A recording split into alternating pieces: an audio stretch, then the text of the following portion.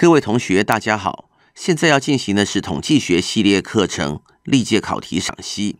我们这个单元，我们介绍回归直线的一个参数的 f 检定以及 t 检定。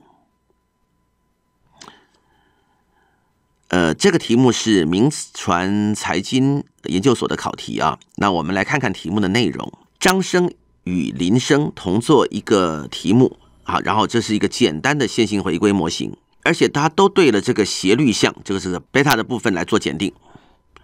那么张同学用的是 f 检定，求得统计量是值是三十六。那么林同学他用的是 t 检定，那么问的是他的统计量 t 的值是应该是多少？哦，那这个题目其实如果观念清楚会很简单。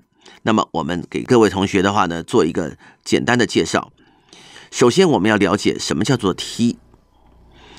Student t 它其实就是 z 的一个修正，它是等于 z 除以下面一个 chi-square，比上了它的一个这个 new，就是所谓它的自由度，这就是 t。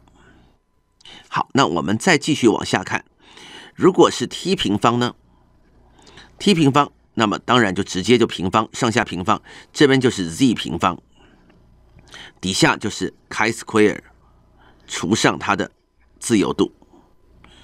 那么我们要了解的是什么？z 平方本身就是一个卡方，以一为一个自由度的一个卡方，也就是说，它其实就是 chi-square 比上它的自由度是一，这是也是 chi-square 比上自由度是 new，我们就。假设这是 one，这是 two 好了，这是两个卡方分配各自比上它的自由度的一个比，其实它就是什么？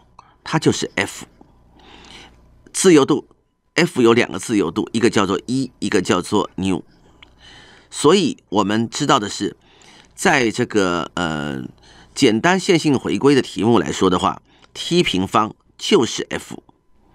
那么如果说张同学他是采用的是 f 检定，f 检定的这个统计量的值是多少呢？是三十六的话，假设它是三十六，那么林同学用了 t 检定，它是 t 平方是等于 f，所以是三十六。